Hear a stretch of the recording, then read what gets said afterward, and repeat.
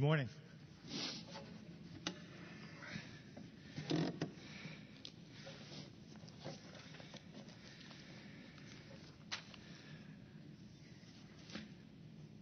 We're in the middle of a series where we're talking about the impact of what Jesus came to do. And he came just in time for Christmas.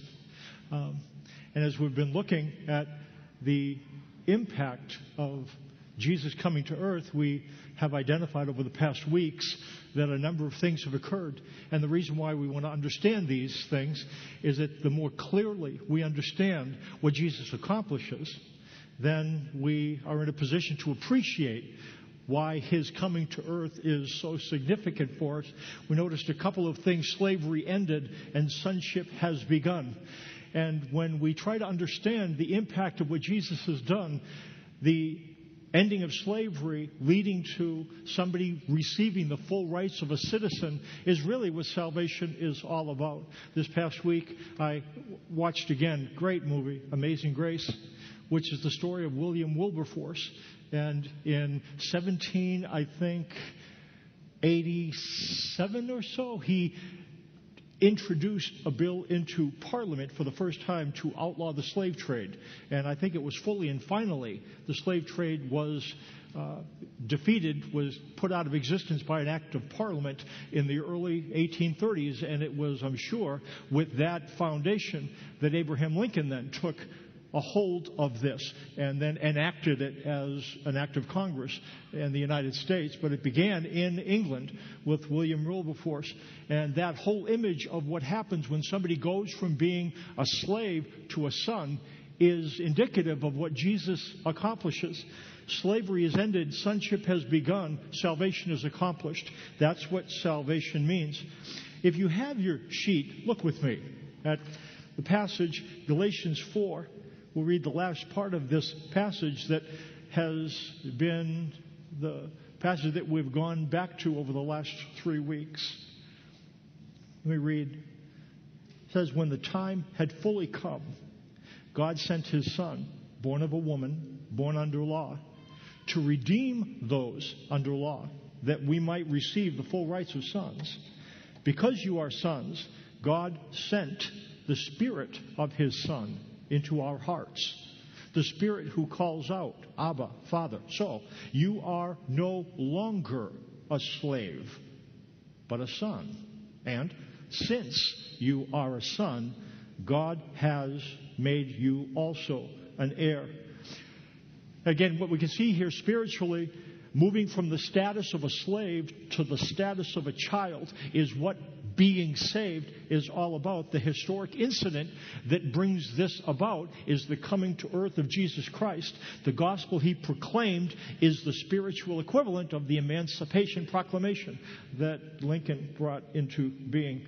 It talks about Roman families and how a child is raised by a supervised by a tutor and then at age 14 and age 25 comes up from under the supervision of a tutor. Let me explain that one more time. In a Roman family, a child was placed under the supervision of a tutor until the child was age 14 and then furthermore under the supervision of a curator between the age of 14 and the age of 25.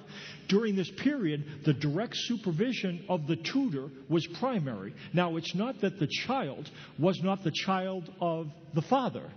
The father was still the father, the child was still the child of the family. However, the father intentionally entrusted the care of the child into the supervision of the tutor. After the period of supervision was completed, the child received the full rights of a son, and the father's role takes over the tutor's role. This is how Paul explains what happens to us with Jesus Christ. It also explains why the first half of the Bible seems different from the last half. We've discussed how if you read through the first half of the Bible, there are some images. There are some things that happen that you look and you would think, this is very harsh. And what Paul says is prior to Jesus coming, how God treated mankind is the way a Roman father treated his child when he places him under the care of the tutor. So, What am I saying? The law is like the tutor. And the first half of the Bible reflects the supervision of the tutor, the supervision of the law. Again, it's that God entrusts the care of humankind into the hands of a tutor for a period of time, knowing that there will be a time at which the time of the tutor will be over and the time of the father giving direct supervision will begin. And that's how we're to understand Jesus coming to earth. The time of the tutor is now over. The time of the Father giving direct supervision through the Son begins. With Jesus coming, God's treatment of mankind is like how a Roman father assumes direct control and terminates the role of the tutor. The second half of the Bible reflects the supervision of the father. That's why it seems so different. Directly supervising. The time of the tutor was terminated by the coming of the son. Leads to a question by way of review. Why would he do that? I mean, if you're going to create the world, why subject someone to the supervision of a tutor, to the supervision of the law? We looked at a couple things in terms of the impact of law. The law reveals sin. It says, therefore, no one will be declared righteous in his sight by observing the law. Rather, through the law, we become conscious of sin. Now, we're going to raise some things here, and you're going to go, Mike, I don't get this. You know, so you're saying, Mike, that, okay, God creates the world and he puts the world under the supervision of law for a period of time, knowing that this time was only going to be for not forever and ever. And and what Paul would indicate and what we're talking about is that what the law does, it reveals sin. I, I remember, and I told you this before, when in elementary school, they, they used to give you once a year this gum that you would chew. You chew this gum, and then you went, and it showed all the cavities. And that's, in a sense, what the law is like. You know, this gum didn't create the cavities. It just showed the cavities that were already there. And that's how we're to understand the law. God gives us the law, and what the law does, it reveals the sin, the transgression that already exists. It's not just that, though. The law produces sin. The law was added so that the trespass might increase. Read that last word. Again, if you're, if you're following me, you're saying, whoa, time, whoa. Are you saying that the law was given so that trespasses might. Is that what it's. Do you read what I read there? The trespasses would increase so that there would be more sin? That seems to be what it says. Um, oh, that's interesting. Um, it arouses sinful desires. When we were controlled by the sinful nature, the sinful passions aroused by the law were at work in our bodies so that we bore fruit for death. What it seems to say then is if you put somebody under the influence of law, sinful desires don't diminish, they increase, decrease. What's the answer? Increase. That's interesting, isn't it? So if you want to get somebody to sin more, what you tell them, do these 10 things or else. It keeps sin alive. Apart from the law, sin is dead. One way to bring sin to life is put law over it. So it reveals sin, produces sin, arouses sinful desires, and keeps sin alive. Why would God put mankind, humankind, under this kind of influence? And here's the answer to lead us to rely on Jesus as our only hope to be accepted by God. That's why God puts humankind from creation through the time till Christ comes is to cause humankind to understand you cannot keep a code. I don't care whether it's 10 things, 12 things, 8 things. You need to rely on Jesus Christ as your only hope to be accepted by God. Look what it says. The scripture declares that the whole world is a prisoner of sin, so that what was promised, being given through faith in Jesus Christ, might be given to all who believe. So the law was put in charge to lead us to Christ that we might be justified by faith. And you get the point then. The law is like a prison guard in a way. It's a tutor, but not a nice tutor. It brings about and makes the problem worse so that we come to a place of understanding. If I'm going to have to do what you say and don't do what you forbid in order to be accepted, I am in a lot of trouble. Not just me, you too. We are. Humankind is.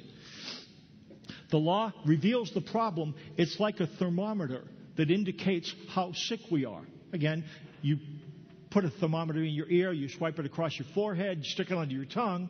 What does that do? It has no power to cure you. It can't help you.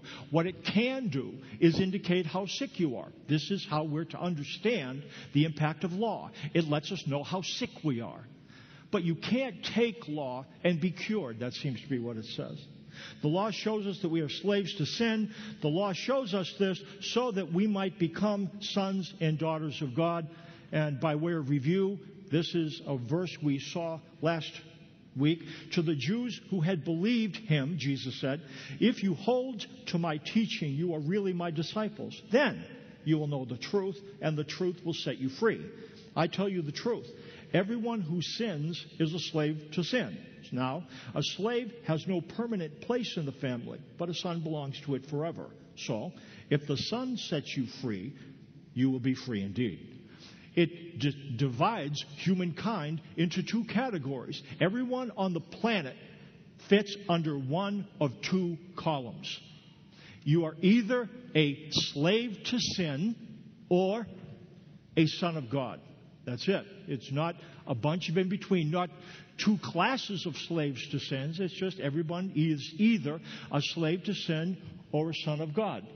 And the way you go from one to the other is if you're a slave to sin, what that means is that you have some choices about how you sin. You don't have choices about whether or not you sin. Does that make sense? See, a slave can't do what a slave wants to do. They have to do the will of the one in charge. And that's how we are to understand, according to Jesus, what it's like. We are slaves to sin. We might have some input relative to how we do it, but not whether we do it. We're slaves to sin. And there's only one way you can go from being a slave to sin to being a child of God. That is, if somebody in this family reaches over and brings you into the family. That's how it works with Jesus. He is the Son of God. Those who believe in him, Jesus takes by the hand and leads them into the place where they're part of God's forever family. Question If you then become a child of God, does that mean you no longer sin? Anybody here free from sin? Of course not. What it means, sin doesn't have the power to make it so that you're not part of the family. See, if you're a part of the family, you're a part of the family. Just because you mess up, you're not booted out of the family. Now, we've had time with family over the past holidays. And you probably, if we had a discussion, you probably would agree with me. Families aren't perfect. I'm sure you could think of one or two things that your brother or sister, mother or father did wrong that, that you would classify. I tell you what, that was a sin. And they could do the same with you. but just because you mess up, are you any less a son or daughter of the family? What would you have to do to be not a member of the family? In a way, their blood is pouring through your veins. Even if they would disown you, you're still a child. Their blood, and that's the way it is. When Jesus takes you and brings you into being part of the family, it's not that you're perfect, it's just that imperfections will not cause you not to be a part of this family. You are members of God's forever family. Um, that's what we're to, that's how we're to understand what Jesus does. Sin then is an enslaving power.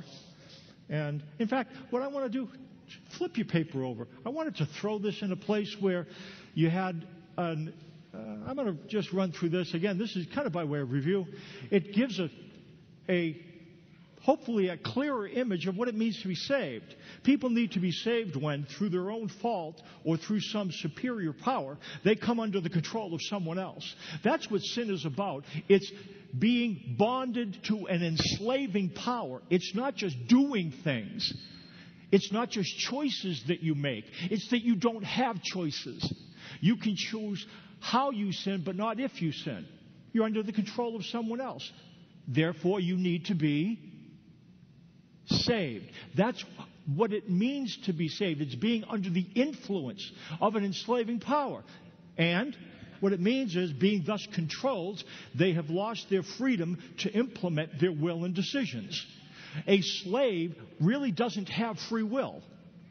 You can ask your slave, What do you want to do? It doesn't matter. I have to do what my master tells me to do. And that's how we're to understand being enslaved to sin. Their own resources are inadequate to deal with that other power. To be a slave means you can't free yourself. And therefore, they can only gain their freedom by the intervention of a third party. The individual who reaches into slavery brings this individual out of slavery into the family. That individual is called the Savior. That individual is called the Savior. The individual who moves from slavery to sin to being a son of God has been saved. Saved. That's what it means to be saved. People are saved when? They believe that as the Son of God, Jesus is the Word through whom God the Father fully and finally reveals Himself to the world. Jesus is the Word through whom God fully and finally reveals Himself to the world. What is God like? Jesus Christ. How much does God love people? Jesus demonstrated it by dying on the cross. How does God feel? He feels like Jesus Christ felt. What does God value? He values what Jesus Christ valued. But you said, Mike, but there was the first part of the Bible and the second. Jesus fully and finally reveals the truth of who God the Father is. And people are saved when they come to the place of understanding that it's Jesus who reveals the Father. There are some good spiritual figures in history, devout people. Siddhartha Gautama, Muhammad, they weren't Jesus. You say, oh, Mo, they didn't claim to be God. They didn't fully and finally reveal God as the Son of God. Jesus did, and that's what it means to be saved. That's you need to be saved when you believe that, and people are saved when they remain in Jesus, as Jesus' words remain in them and are transformed into sons and daughters of God who express their faith through love. That's what people are saved when they remain in Jesus as Jesus' words remain in them. You make room for Jesus' words. And you know what starts to happen? It changes how you think about God, about the Father. You come to understand Him. And coming to understand the Father, what He's like, moves us to experience salvation. So, salvation is a decision. It begins with a choice to follow Jesus. If I were to sit down with us and say, How have you come to be in the place that you are spiritually? We could have, I bet you we would represent a number of different kinds of approaches. Some of us moved gradually. It's a process where we learned a little bit more and we learned a little bit more and we learned a little bit more. If I were to ask, is there a critical time when you decided to be a follower of Christ? You can remember the prayer, you can remember the day. Some of you say, you know, Mike, I can't. Some of us can remember a time. For me, I was busy trying to make myself good enough for God to accept me. And I thought I was doing it. I was more religious than anybody I knew. I went to church more often. I did more things. I, if, if God graded on a curve, maybe some of you were really good. I think I had you beat. Maybe. I don't know. Doug, what did Martin say about that? Now, uh, at any rate, I, you know why? Because I was trying real hard. Then somebody told me that Jesus came to earth to do for me what I couldn't do for myself, and that salvation was a gift. As I've said before, I was livid. I was angry. I felt like somebody who got ripped off. I'd been spending 18 years paying a mortgage into a home, only to find out that all along the home was free. Geez, thanks. Great. I've been, I've been busting my hump for 18 years trying to make myself good enough. And now you tell me it's a gift? And I came to the point of understanding it is. And that's what I did. For me, it was a decision. And I was, I said, God, I don't remember exactly what I said. But for me, this is what it was like. I, I guess I understand that I can't make myself good enough. And I put my trust in what Jesus did for me. And I want his death on the cross to cover my sins. I remember when I did it. It was April of 1972. I lived in the quadrangle at the University of Pennsylvania. I was sitting on a cement bench, and a guy, Harvey Plug, who had been telling me about Jesus for a while, and I'd ask him about the native in Africa and all these questions. He finally asked me this Mike, what's keeping you from accepting Jesus as your Savior? Because you know the truth. And I couldn't think of a, a reason why. And I prayed. And I'd like to say at that point, spiritually, I ended up doing more goofball things after that. Now, don't tell anybody this or I'll deny it. I, I did. You know, at college, second year in college, that's when behavior tends to drop off the edge. And some of you, if, if you're not shaking your head up and down, you should be. Um, but it was at that point, though, something changed. My orientation towards God. So some of us can point to a decision, sometimes can't. But I think all of us would, would agree it's a process, isn't it? There might have been an act, but the act leads to a process. Um, that's what Jesus. That's what Jesus indicates. I'm gonna. No, I'm not going to go ahead to that. looked at that. Looked at that. Okay. This is by way of review. Not sure if I include this next one. No, that's not it. Okay. Um, Jesus said to the Jews who believed him, Jesus said, If you hold to my teaching, you're really my disciples. Then you'll know the truth, and the truth will set you free. Here's what I wanted to say Jesus said, Listen to me. If you hold to my teaching, there's an if if you hold to my teaching. It doesn't say if you do it well or say it right. It doesn't say if you never sin. It says if you hold to my teaching. If you listen to what I say, make room for it. If you hold to my teaching, then you're my disciples, and you will know the truth, and the truth will make you free. Does that indicate that salvation is a one time event where you get it all right away? No, absolutely not. It, there's a decision aspect of things, but experiencing salvation is having Jesus' word remain inside, making room for it, thinking, and He changes the way you think about God. And that's what salvation is about. It's a process.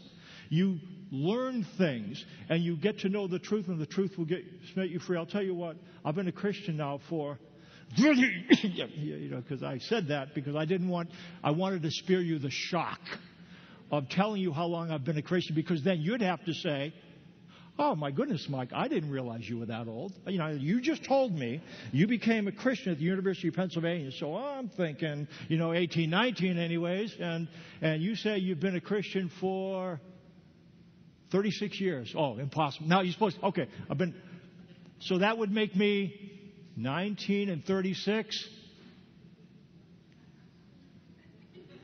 Okay. That would make me. Now you're supposed to respond with appropriate shock. Okay. Okay. Wise guys. Who said old? Okay. yeah, that makes sense. Um, talk about um, that's what salvation means, and that was by way of review, but you'll see and now we'll be able to cruise along. What we would have us do is, is salvation experience means living as sons, saying yes to son and daughter thoughts. God sends the Spirit into us to teach us to relate to Him as sons and daughters. Look at Galatians 4 4 through 6 again. When the time had fully come, God sent His Son, born of a woman, born under law to redeem those under law that we might receive the full rights of sons. Because you are sons, God sent the Spirit of His Son into our hearts, the Spirit who calls out, Abba, Father. So you are no longer a slave, but a son. And since you are a son, God has made you also an heir. Son here is not just male, it's the designation for male and female in this context. since God sends the Spirit into us to teach us to relate to Him as sons and daughters, then, well, let me throw this at you. If you bring your, if you bring something to someone who's an expert, the reason why you go to a physician or a mechanic is that they understand what's at the root of the problem. And you can understand what the root of the problem is by what they fix. Does that make sense? You know, you might say, My arm hurts. And a physician can understand there's some arm pain that's not about the arm at all. It's about the heart. And when they attend to the heart, then you say, Oh gosh, I never knew that. Now, here's God solves the human problem. The way he solves the problem indicates to us what the problem is. God sent his son into us to say, Abba, Father. Would you agree with me? That would indicate at the deepest part of our pain, our problems, is a desire to be regarded by one who is powerful and who will never leave us and forsake us. We've been home. You know, we've interacted with family. Interacting with family is bittersweet, isn't it? Some things change. People weren't there this year that had been there in other Christmases. Some of you experienced loss this past year. Or things are just different. The house isn't the same. Your parents aren't the same. And if isn't it true that there's a sense of, oh, inside? And, and I think that that's deep. And you know what God says? What I want to do for you, I want to send my spirit into your heart to teach you to relate to me as a father. That's what God the Father says. And you know why He does that? Now, some of you are going to blow this off. At the deepest part of what you need, you need to relate to God as a father. You say, How do you know that, Mike? Because God fixes the problem, and that's how He fixed the problem. You're saying, you, are you telling me, Mike, that some of the nuttiness that I deal with is really be solved if I understood that God was my Father and if I saw Him as such? That's exactly what I'm saying. You're saying, I don't buy it. Fine, don't buy it. I understand that. There's a time I didn't buy it either. It's the truth. It's the truth. That's what God sends the Spirit to do to teach you how to relate to Him as a Father. This is what it means to be influenced by the Spirit. To be influenced by the Spirit is not to have a liver shiver. It's not to have a subjective expression. A subject, oh, I felt like I should call. Now, sometimes people get that, and I think it could be God. However, the influence of the Spirit is not a liver shiver or a subjective impression. The influence of the Spirit is call him Abba because he's your father. That's what the Spirit tries to do inside you. Being influenced by the Spirit, then, is a matter of understanding how God regards you and how He is committed to you. Uh, the Spirit teaches us to think like sons and daughters of God. He teaches us to call God Abba. Look at what it says in Galatians 3. Understand then that those who believe are children of Abraham. When Paul wrote this letter to the Galatians, they were doing, they had done well at one point. He told them you could be children of God through faith in Christ, and they said, Great, and they felt free. We understand some of that feeling. Uh, when you first decided to follow Christ and you learned about that, God loves me. Gosh, that feels wonderful. That's how they felt. And somebody came in afterwards and said, Yeah, excuse me, God loves you, but He'll love you even more if you do the things the Jews have been doing for hundreds of years. And they said, Oh, okay. You know what happened? They went from thinking like sons to thinking like slaves again. You mean I have to do 10 things in order for God to love me? That's right. And they ended up believing that. They stopped thinking like sons and daughters and they started thinking like slaves. And Paul writes the letter of Galatians to tell them to say yes to son and daughter thoughts. Why? Because God sends the Spirit inside to tell you you are part of God's forever family to say yes to son and daughter thoughts and to say no to slave thoughts. Look what it says, Galatians 4:28, 5:1. Now you brothers like Isaac are children of promise. At that time, the son born in the ordinary way persecuted the son born by the power of the Spirit. It's the same now. But what does the scripture say? Get rid of the slave woman and her son. The slave woman's son will never share in the inheritance with the free woman's son. Therefore, brothers, we are not children of the slave woman, but of the free woman. What he's saying, we're not slaves anymore. We are children of the family. And then he goes on to say, It is for freedom that Christ has set us free. Stand firm then, and do not let yourselves be burdened again by a yoke of slavery. Don't allow yourselves to be burdened by a yoke of slavery. You know what you're going to have to do? And for some of us, this is hard. We were really good at saying yes to the truth. Some of us are really lousy at saying no to what isn't the truth. There's a lot of things being expressed as to why Jesus came and stuff like that. And if you listen to it on Christian radio, what I'd like to encourage you to do is to develop a clear no. That's not the truth. See, to stay remaining in Jesus, you can't just say yes to what's true. You have to say no to what isn't true. And when somebody comes and tries to get you to buy this thing, that if you send $100 or $1,000, that God will love you more, or the reason why you're experiencing this, you know, all that stuff.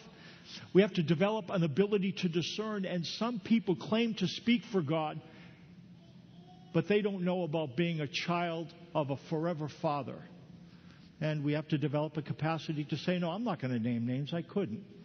What I'm saying, though, I bet you for many of us, that is where you get tripped up.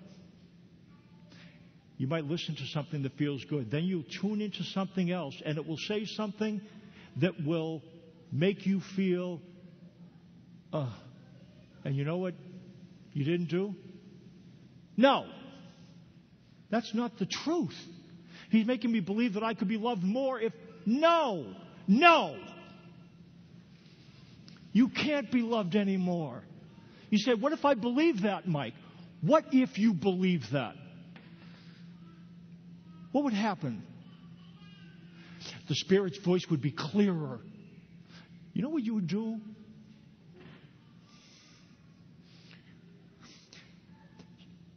You would love Him.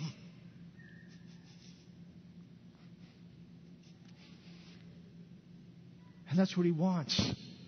He wants you to love Him. And, and a lot of people make us afraid. They say, You better. You...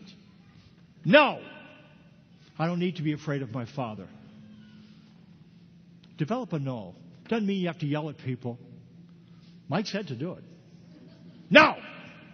So, you know, you can be tactful. No inside, though. Say it.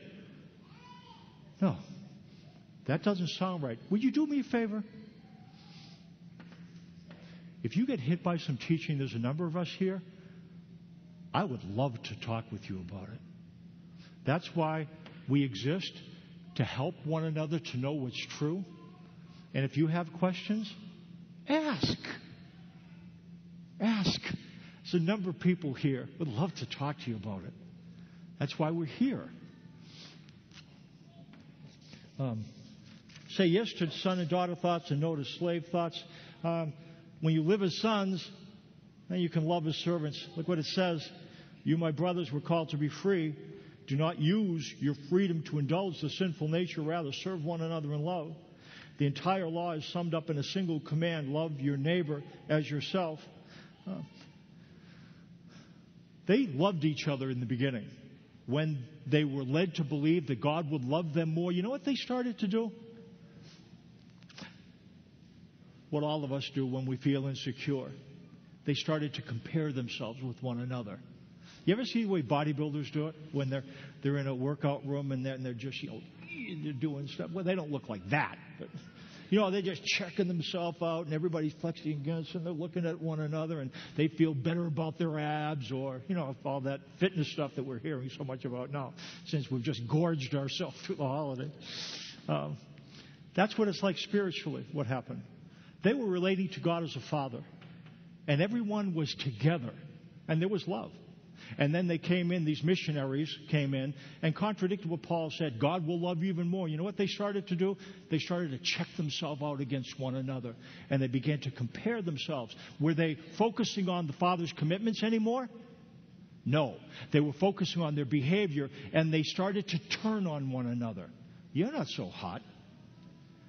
I've got it beat before you. Now, I might not know the Bible, but I know it a lot better than.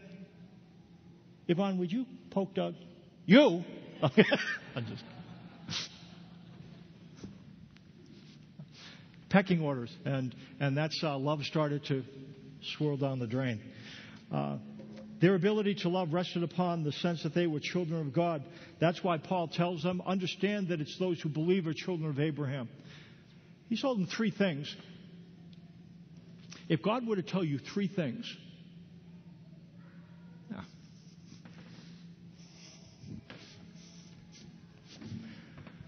God would sit down with you and give you the top three things you need to know in order to be the person He wants you to be, what would those three things be? God were to sit down face to face. You know the three commands in Galatians are? List them here. Understand that those who believe are children of God. Understand those who believe are children of God. And secondly,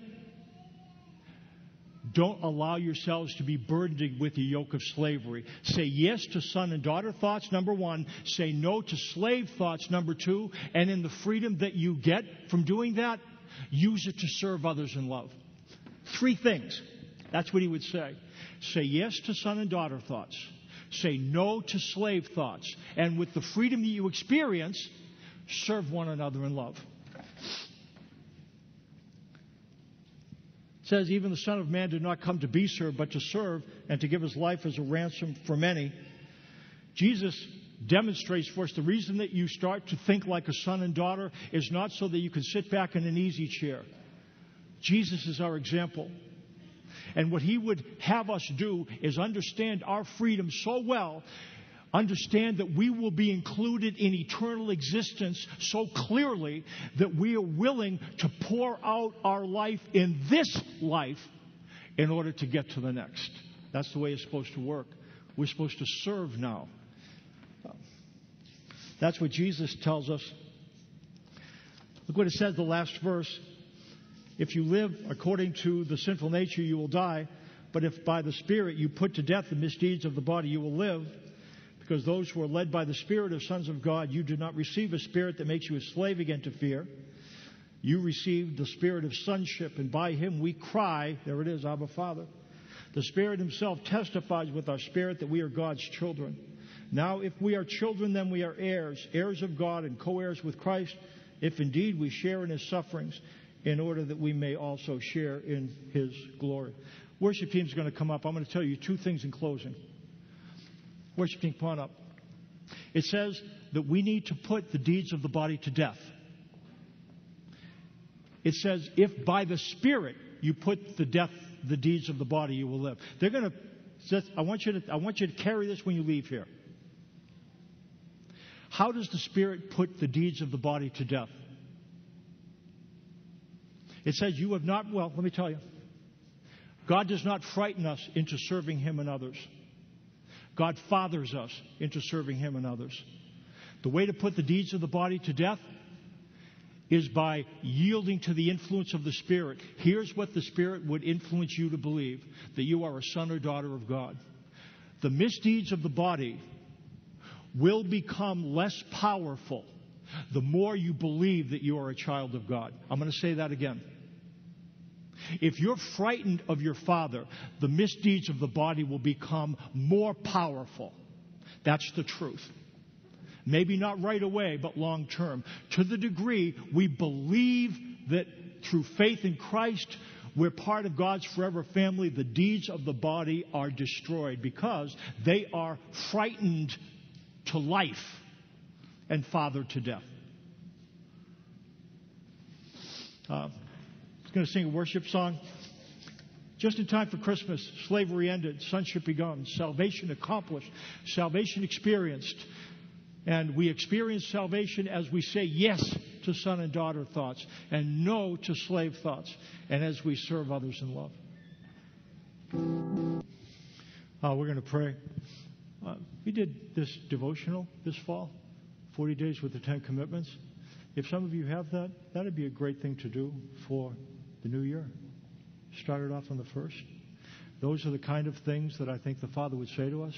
And as you focus on them and they become deeper, I think those are the kind of influences that would the Spirit would drill into. And if some of you say, "What book? What?" Um, it's it's over there. It's just a brown book, and there's a suggested donation to cover printing. If you don't have it, just take one. It just gives us the opportunity to look at some things together that would help us to be more authentic sons and daughters of God. Let me pray. Uh, Father,